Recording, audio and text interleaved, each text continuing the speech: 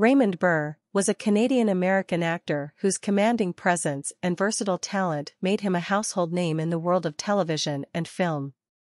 He is best known for his iconic portrayal of the brilliant defense attorney Perry Mason in the long-running television series of the same name. Burr's portrayal of Perry Mason was groundbreaking, as he brought the character to life with a combination of intelligence, determination, and a strong sense of justice.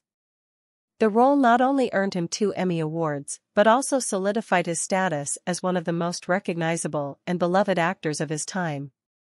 Prior to his role as Perry Mason, Burr had already established himself as a talented actor in both film and television.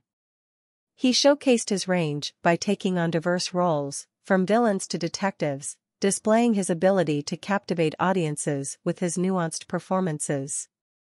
In addition to his iconic television role, Burr also achieved success in film, appearing in notable movies such as Rear Window and A Place in the Sun. He brought depth and gravitas to his characters, leaving a lasting impact on the silver screen. Beyond his acting talent, Burr was known for his professionalism and dedication to his craft. He had a remarkable work ethic and was admired by his colleagues for his commitment to delivering top-quality performances. Raymond Burr's contributions to the world of entertainment continue to resonate. His memorable performances, particularly as Perry Mason, have left an indelible mark on television history, making him an enduring figure and a true icon of the industry.